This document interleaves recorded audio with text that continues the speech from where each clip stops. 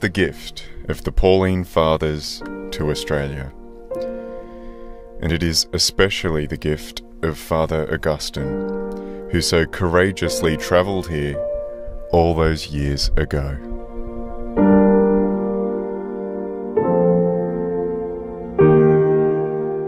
This is very important to to love Jesus because he's our, he is our way, our master. We must be give uh, good relationship, never, changing. If I uh, give message to Australian people, is have strong devotion to Our Lady. This is this is I this is for me and for that people must be keep this this way.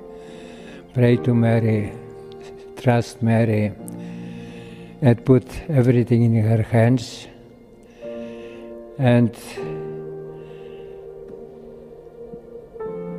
in, in imitate her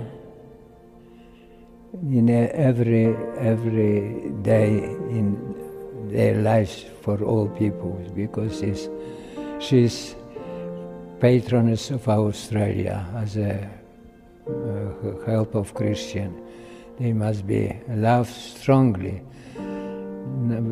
For what we build this shrine, for that reason, we make strong devotion to Our Lady among Australian people.